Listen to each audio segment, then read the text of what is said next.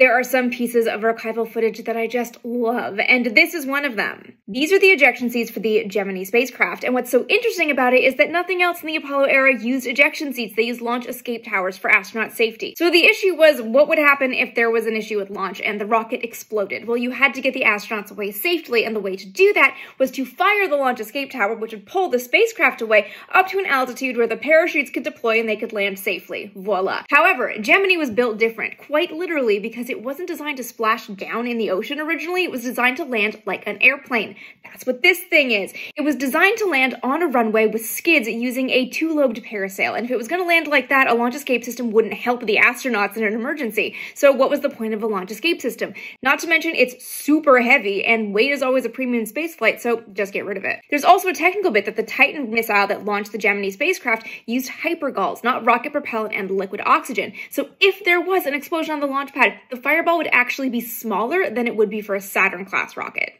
Anyway, that's the needlessly nerdy explanation of this very cool shot.